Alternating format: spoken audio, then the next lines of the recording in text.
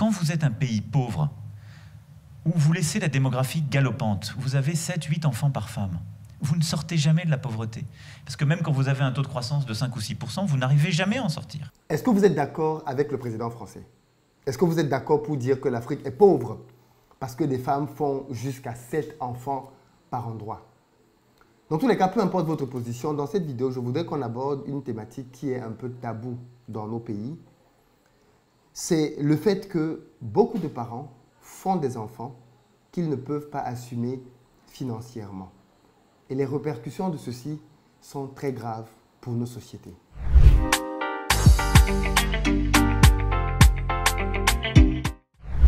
Salut à toi, bienvenue sur ma chaîne, moi c'est Philippe Simo. Ici je te parle de business, de mindset, d'entrepreneuriat, parce que c'est grâce à tout ça qu'on va développer notre communauté. Donc tu t'abonnes et tu actives la cloche de notification pour ne manquer aucune de nos prochaines vidéos. D'ailleurs, pour ceux d'entre vous qui sont en Côte d'Ivoire, qui arrivent prochainement à Abidjan, je vous invite à nous contacter pour réserver des véhicules pour avoir un séjour sécurisé sur place. Que vous vouliez une berline, une citadine ou même un pick-up, on a tout ce qu'il vous faut en termes de véhicules, mais aussi de budget. Pour ceux d'entre vous qui veulent se lancer dans l'entrepreneuriat pour augmenter leurs revenus et qui est en France, vous pouvez nous contacter désormais pour qu'on vous permette de vous former grâce au CPF. Désormais, avec votre CPF, vous pouvez vous former à l'entrepreneuriat. Pour ça, dans la barre de description, vous avez un lien qui vous permet de nous contacter ou alors un numéro de téléphone simplement auquel vous pouvez appeler. Alors je sais que la thématique qu'on va aborder aujourd'hui est sensible parce qu'elle parle d'argent, mais je pense que c'est une thématique qu'il est grand temps d'aborder sur cette chaîne parce qu'il y a comme une forme d'hypocrisie et d'omerta autour de ce sujet, peut-être parce que ça concerne nos parents et qu'on évite de les confronter parfois à certaines des choses qu'ils ont faites. Une des questions que je me plais souvent à poser aux gens avec qui je travaille est de savoir quel est leur âge et est-ce qu'ils ont déjà des enfants et une famille. Et je suis très souvent surpris de voir que des jeunes hommes qui n'ont pas de situation financière stable se retrouvent parfois à avoir 3, 4 enfants, alors même que financièrement, ils ont du mal à déjà prendre soin d'eux-mêmes. Et en plus, quand je dis 3, 4 enfants pour un jeune homme de 26 ans, il continue bien évidemment de penser qu'il peut continuer de vivre dans cette insouciance-là. On a un problème dans nos pays qui va demain devenir une bombe à retardement. Et ce problème, c'est que beaucoup de personnes font des enfants qu'ils ne peuvent pas gérer, qu'ils ne peuvent pas assumer. Moi, j'ai grandi dans des familles dans lesquelles mes parents devaient gérer à la maison 3, 4, 5, 6 enfants d'autres personnes dans la famille parce que c'était la famille africaine. Et peut-être que vous aussi, vous avez connu ça. Moi, j'ai grandi avec des tantes, des cousines, des cousins on était toujours très nombreux à la maison. Alors bien évidemment, en tant qu'enfant, c'est bien parce que tu es insouciant et ça fait du bien d'avoir des gens avec qui tu fais de la fête, vous jouez, vous vous amusez tout le temps jusqu'à très tard le soir. Mais en grandissant, mon analyse de la situation, bien évidemment, change et évolue. Parce que malheureusement, j'ai le sentiment que le temps a passé et les gens n'ont pas compris qu'il fallait arrêter avec certaines choses. Figurez-vous que dans beaucoup de nos familles, et je pense que ce que je dis ici ne surprend personne, on a des gens qui font des enfants en comptant sur d'autres. On a des gens qui font des enfants en comptant que c'est leur père, c'est leur cousin, c'est leur oncle qui est en Europe qui va s'en charger. D'ailleurs, l'un de leurs pièges favoris consiste à faire un enfant et à donner votre prénom, vous qui êtes dans la diaspora, à cet enfant-là. On vous dit que vous êtes son bonbon, vous êtes son parrain, comme si c'est vous qui les avez envoyés aller faire cet enfant. Donc il y a cette irresponsabilité qui est de plus en plus flagrante.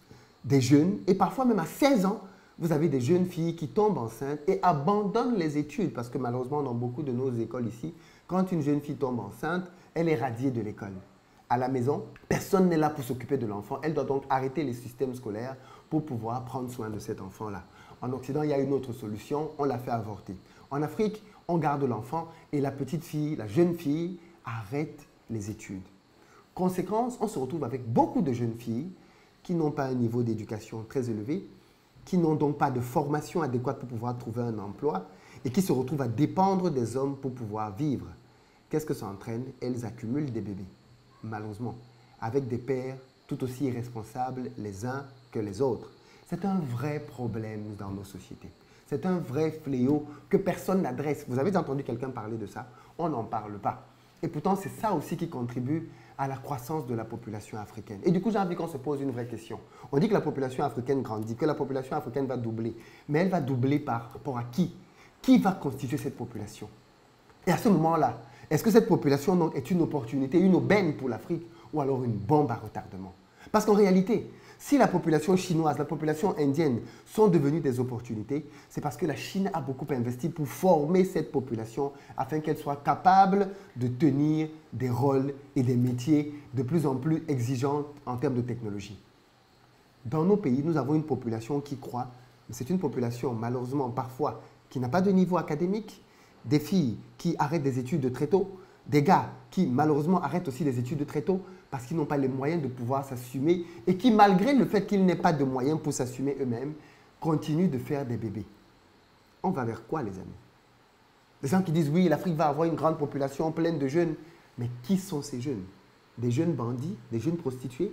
Excusez-moi la cruauté des termes, mais c'est ce qu'on constate. On constate aujourd'hui que ces jeunes-là, ça donne au banditisme parce qu'ils n'ont pas de travail. Ces jeunes filles, ça donne à la prostitution parce qu'elles n'ont pas les moyens. Mais parlons de l'autre côté, les parents. Ces parents qui ont fait ces enfants et qui ne s'en occupent pas. À quoi on assiste? On assiste à un phénomène qui m'a souvent beaucoup choqué dans les familles africaines. J'ai remarqué que beaucoup de parents envoyaient leurs filles à la prostitution et leurs gars au banditisme. Oui, beaucoup de parents envoyaient leurs filles à la prostitution et les garçons au banditisme. Quand vous avez une jeune fille de 16-17 ans qui vient voir ses parents pour demander à son père notamment de l'argent pour pouvoir acheter ses garnitures et tout autre produit dont elle a besoin pour son hygiène, pour, sa, ses produits corporels, et que le père lui dit débrouille-toi, je n'ai pas d'argent. Qu'est-ce qu'il vient de dire à cette fille? Parce que dans quelques jours, elle va avoir ses menstruations. Quel est le message qu'il vient de lui envoyer quand il lui demande de se débrouiller? Il sait bien qu'elle n'a pas un boulot, il sait bien qu'elle n'a pas un salaire, il sait bien qu'elle n'a pas la CAF ou je ne sais pas trop quelle autre aide en Afrique. Quand il dit donc à sa fille de se débrouiller, il est en train de lui dire d'aller chercher de l'argent par ses propres moyens. Mais de faire quoi concrètement?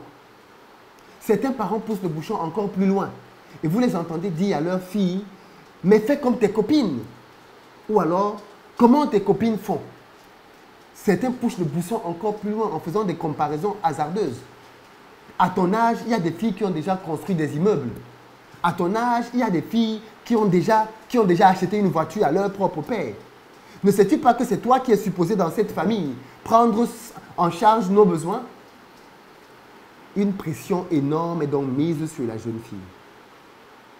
Comment elle fait pour avoir de l'argent pour construire un immeuble? Comment elle fait pour avoir de l'argent pour pouvoir prendre en charge les besoins de la famille? Comment elle fait pour prendre en charge la voiture que le père lui a demandé d'acheter indirectement. Elle se prostitue. Elle trouve un sugar daddy. Elle trouve un homme. Solution facile, je suis d'accord. Mais elle trouve un homme qui est supposé financer ce train de vie. Elle trouve un homme qui est supposé financer les problèmes de sa famille que ses propres parents n'ont pas pu gérer. Le corollaire est le même chez les garçons. Le garçon, c'est qu'il ne peut pas poser certains problèmes d'argent à ses parents. Parce que ses parents vont lui dire, débrouille-toi mais qu'implique cette débrouillardise qu'il aille voler, puisqu'il n'est pas formé à un métier. Où est-ce qu'il prend l'argent dans un pays dans lequel il n'y a pas de travail quand on lui dit débrouille-toi? Il va voler. Aussi simple que ça. Il va voler. Alors, ce n'est même pas terminé. La conséquence de ça, donc, c'est quoi? C'est que des personnes qui ne sont même pas en capacité de se prendre en charge eux-mêmes se retrouvent à faire des enfants des pères irresponsables, des mamans tout aussi irresponsables. Conclusion, des bébés viennent au monde, ils n'ont rien demandé à personne et vont grandir dans un contexte de précarité extrême. Pas de parents pour pouvoir bien les encadrer et on se retrouve avec des mamans solo qui commencent à être de plus en plus nombreuses dans nos pays. La population dont on parle, le doublement de la population africaine, c'est peut-être une bombe à retardement qui nous attend.